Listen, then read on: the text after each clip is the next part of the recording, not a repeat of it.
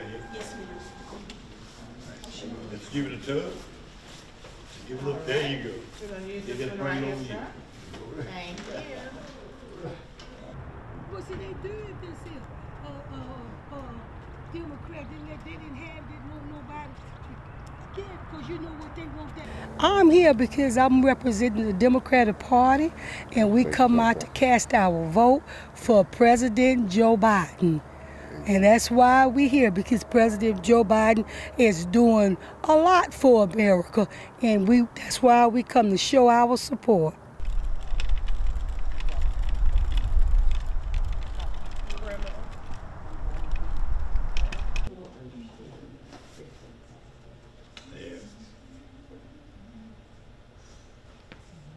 Yeah. At least they coming out.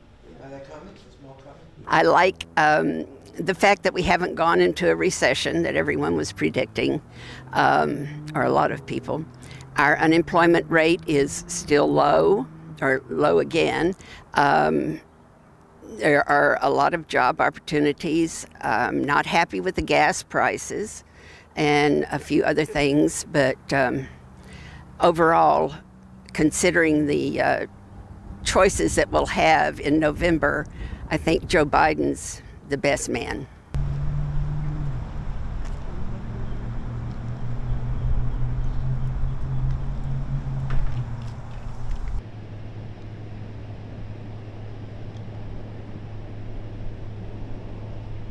license, Steve will jump it from there.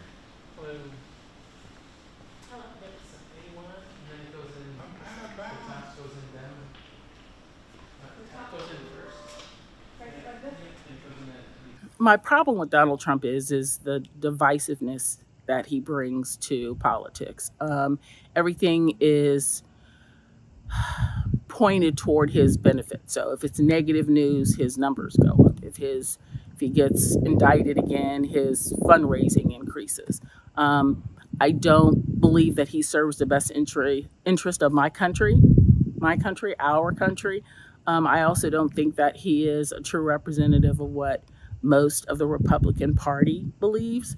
Um, I could even get behind Nikki Haley in a in a tough day, but I Donald Trump is not what this country needs again.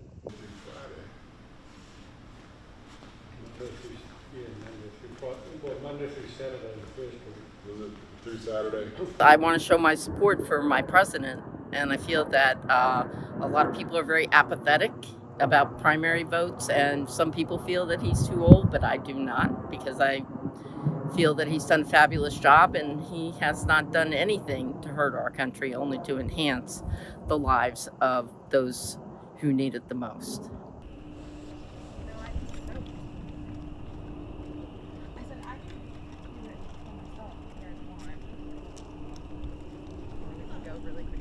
I've heard, um, you know, some people this this um, this go around that black voters may be a little bit uh, more turned off from him because of how the, the economy has gone. But um, as far as I know, black voters are still pretty supportive of President Joe Biden now.